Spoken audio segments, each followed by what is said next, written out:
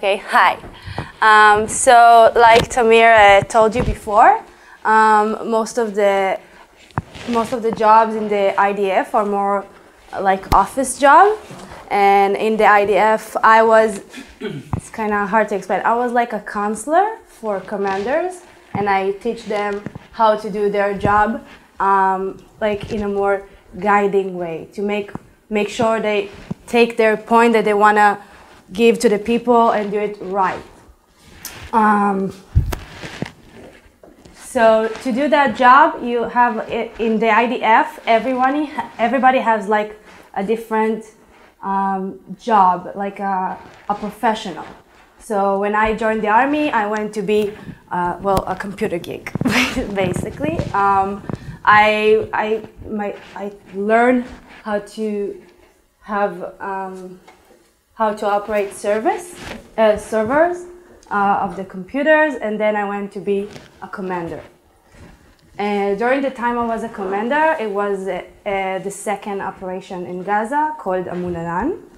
And when you're a commander, I was I was in charge of uh, 40, 40 soldiers, 40 girls, and it was kind of tough, you know, to just you have the more responsibility when you're a commander, you have all your soldiers and you need to be with more uh, secure place and to calm them down. And even though you're kind of stressed because there is bomb over your head and everything, you need to calm everybody down. Um, and just think about that. That you want to call your home and tell them, "Are you okay? Everyth- Everything is okay." But you need first to take care of your soldiers and tell them, call your mother. Uh, give them my phone because most of the time when the soldiers are in courses, like during um, like boot camp, they don't have their phone on them. So I give them my phone, call your parents, see that everything is okay, call your siblings, call your brothers and sisters that are in the army, ask them if everything is okay. You need to have really, really relaxed and to be really, really secure. And that's something that they teach you when you, you become a commander.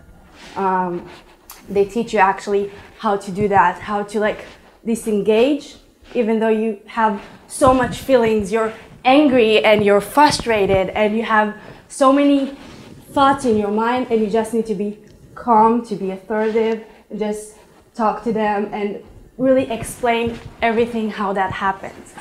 So during that time, I needed to tell when you have when you're a commander, most of your soldiers don't really know a lot about you because you have like this uh, we call it distance um, distance. It's like you have you're the soldiers and i'm responsible for you so you don't really know you don't really need to know my problems.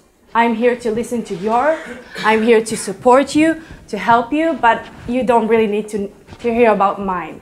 But because they were so panicked i just like took five minutes and i said okay i will tell you about me and then I told them where I come from, where I live, why, like how it is to live some, some, somewhere that is so close to the conflict, and how it is to live like this, and to tell them that everything will be okay. And when I say that, I mean that because I experienced that. And during the time, I'm relaxing them, and everybody's like, okay, we're fine. And uh, they're just like taking a deep breath. There was an, an alarm. And it was it was like why now until i get everybody so like relaxed and they they thought everything is gonna be okay and they were less panicked. Think about it 40 girls and the alarm system goes off. Just like screaming and they're like oh my god oh my god oh my god oh my god. Just like screaming screaming screaming. And i was like okay don't worry. Everything is okay. Just go behind the desk because we didn't have uh, we didn't have a shelter nearby, so they needed to take. Um, there is like desk, like like this kind of desk. They go behind it, and this is like their shelter. Um, but for me, like a commander, I need to stay above and see that everything is okay. And I see this picture, and I always, when there is, I don't know why, but every second time there is an alarm, or every time I saw an alarm, I saw that picture. I saw two girls so every two girls were behind behind one desk, and there was a desk and another desk, and this is, was like um, like um, I don't know, like the space between the two desks. And there were two best friends, but they were in separate um, tables. So I see them, they're like underneath the table and they're holding hands. And it was just like an amazing photograph in my mind to see that even though they're panicked and they're like everybody's taking care of themselves, they still wanted to hold hand and just like tell each other that everything is okay.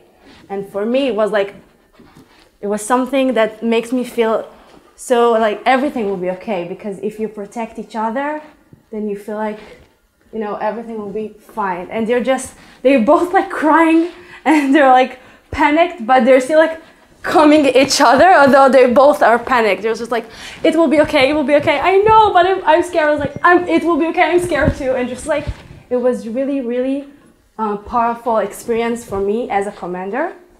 And after that, when I became, um, as I told you, a counselor for commanders, I always share that story and tell them that even if you're panicked and even if you're uh, feeling a little bit insecure, you can always give your soldiers the give them like the extra um, place to like tell how they feel. And if you feel like you need to a little bit step from your um, the like we call it a mask like the commander mask to make sure that your your soldiers will be feeling more comfortable then you should do it. And that's my story. That's how i experienced my military service. Chagall